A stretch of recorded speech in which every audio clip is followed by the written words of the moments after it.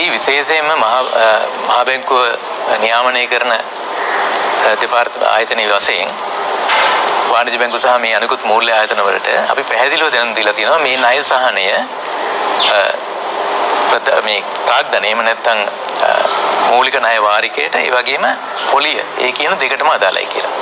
දැන් උදාහරණයක් විදිහින් කල්බදු ගත්තොත් ඒ කල්බදු ලීසින් ගත්තොත් ලීසින් ගත්තොත් ඒ වාරිකයේ ඇතුලේ තියෙනවා යම්කිසි කොටසක් මූලික ණය මුදලේ ආපසු ගේම.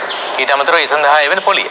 මේ නිසා මේ දෙකටම තමයි මේ වා මේ සහනය හමු වෙන්නේ. ඒ නිසා ඒ දෙකම ගෙවීම අවශ්‍ය නැහැ. ඔක ඉතාමත් පහසුයි.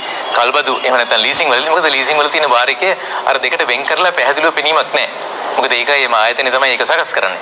ඒ නිසා මෙතෙන්දී ඒ සහනය අනිවාර්යෙන් කල්බදු වාරිකයට හිමි වෙනවා.